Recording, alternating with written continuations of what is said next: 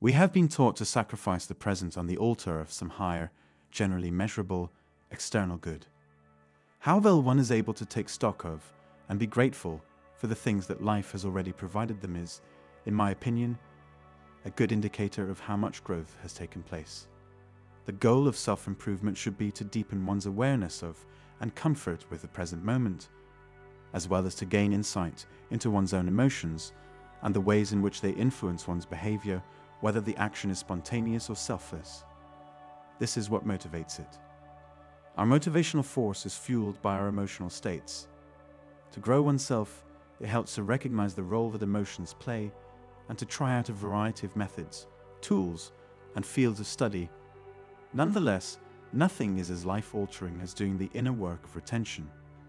By doing inner work, we can learn to recognize our inherent frailties and heal the emotional and mental wounds that underlie our daily actions and decisions. Emotional instability increases the risk of developing addictions, making poor choices, and engaging in harmful behaviors over time. Therefore, the concept of inner work can be defined as the process of becoming more self aware through an increased capacity to identify and manage one's own emotions. Though it's easy to reduce inner work to talk therapy and introspection, there's actually a rich ecosystem of resources, methods, and philosophies to explore. Spiritual perspectives such as Taoism, Ayurveda, and Tantra are fascinating because they provide more grounded, humane, and oftentimes overlooked approaches to daily life and self care. During the journey of retention, your mind will open up to the point that you can finally see things as they truly are. Suddenly, your view of the world becomes crystal clear, and you realize that from now on, you are the one who controls your life. The minute you decide to stop wasting your energy, that energy starts to transform every aspect of your life, and you won't believe how quickly things shift. You begin to perceive God everywhere, and you comprehend that all things are interconnected and essential to one another through Him. Day after day, you will notice a dramatic alteration in your entire experience.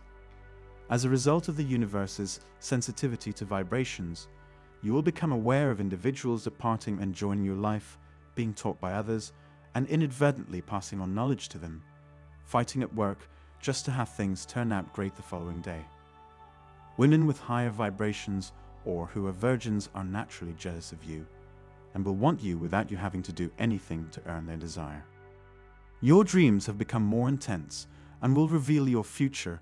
Keen intuition, luck, unexact events or synchronicity have advanced to version 2.0 people on the street talking about exactly what you intend to create in your reality. Deaths, unreliable people, pain, crime.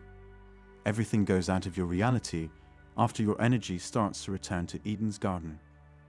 Healing can take up to two years, so be patient, although it can be accelerated with dry fasting and water fasting.